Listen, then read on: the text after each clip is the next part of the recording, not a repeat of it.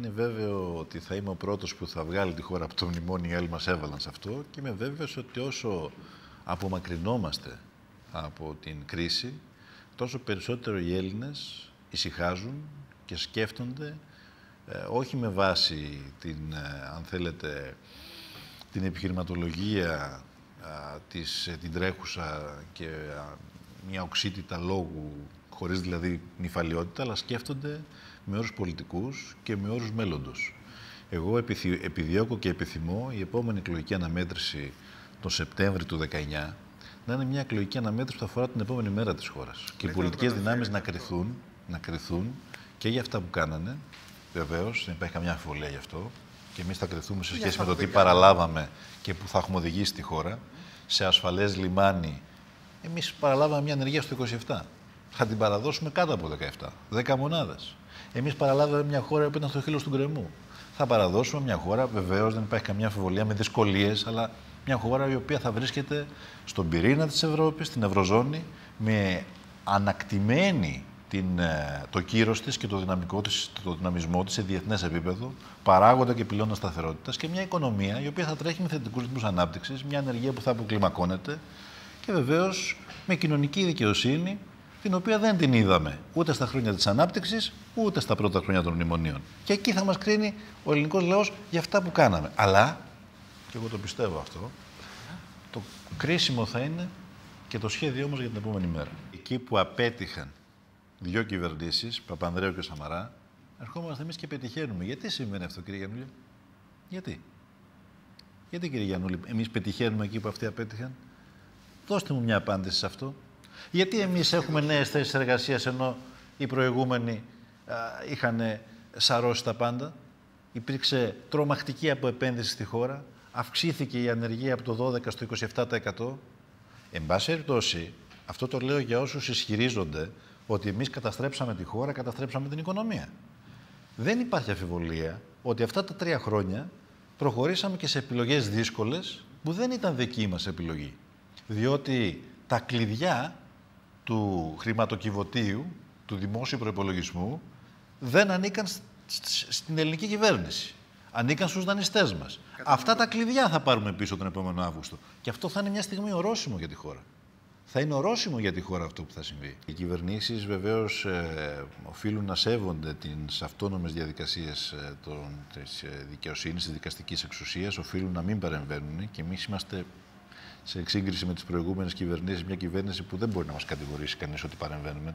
Κάθε άλλο θα έλεγε. Δυσφορία υπάρχει, κύριε Πρόεδρε. Σας Αλλά και σαν πρόσωπος, σαν όταν βλέπω, όταν βλέπω δικαστικές αποφάσεις οι οποίες είναι τελείως αντίθετες με το περιδικαίου αίσθημα του μέσου Έλληνα πολίτη και εγώ ως πολίτης έχω το δικαίωμα της κριτικής. Δεν είστε ένας απλός πολίτης όμως. Έχετε ένα ειδικό βάρος και εσείς και οι υπουργοί της κυβέρνησής σας που έχει μεγάλη διαφορά. Ένας λόγος παραπάνω.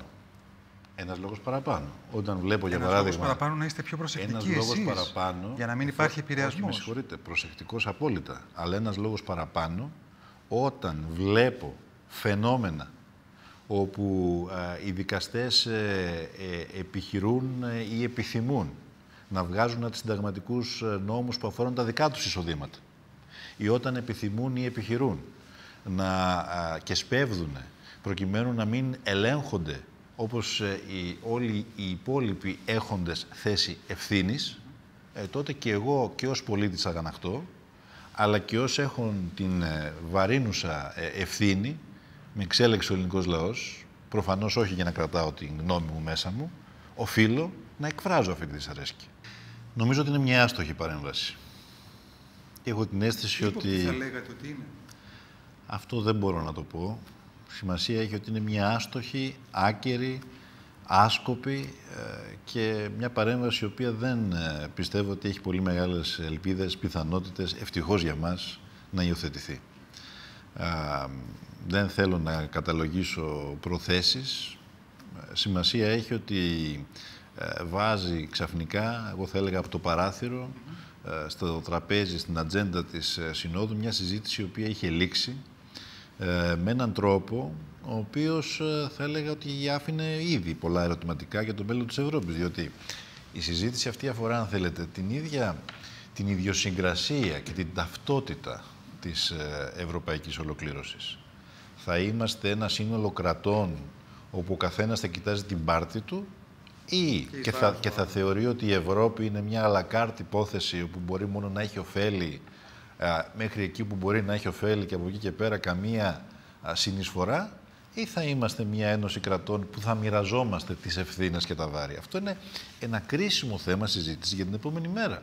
Και αν θέλετε όλη αυτή η διαδικασία που έχει ξεκινήσει και από την επίσκεψη Μακρόν και τις ε, ομιλίες που κάναμε στην Πνίκα, αλλά ένας προβληματισμός που έχει διαπεράσει και την ε, δομή της συζήτησης, της επίσημης συζήτησης της Συνόδους μέχρι και τον Ιούνιο του 2018, αφορά αυτό. Τι αλλαγές πρέπει να κάνουμε στη θεσμική οργάνωση Ευρωπαϊκής Ένωσης για να δούμε ότι δεν μπορεί κάποιοι, κάποιες χώρες που δεν αντιλαμβάνονται την ευρωπαϊκή ενοποίηση ως μια προοπτική διαμερισμού ευθύνης και βαρών, πως αυτοί δεν θα εμποδίσουν όλους τους υπόλοιπους να προχωρήσουν μπροστά. Είναι λοιπόν πολύ δυσάρεστο το γεγονός ότι ο πρόεδρος του Συμβουλίου έρχεται να δικαιώσει αυτούς τους λίγους που εμποδίζουν τη συζήτηση για να προχωρήσουμε όλοι οι υπόλοιποι μπροστά. Η Ελλάδα, επαναλαμβάνω, ή θα βρίσκεται μέσα στην Ευρωπαϊκή Ένωση με υποχρεώσεις και δικαιώματα και αντιστοίχως υποχρεώσεις και δικαιώματα θα έχουν και οι άλλες χώρες κράτη-μέλη της Ευρωπαϊκής ε, Ένωσης ή που ε, ε, δεν μπορεί να έχει μονάχα υποχρεώσεις και να μην έχει δικαιώματα, όπως επίσης και οι άλλες χώρες δεν μπορούν να έχουν μονάχα δικαιώματα χωρίς υποχρεώσεις.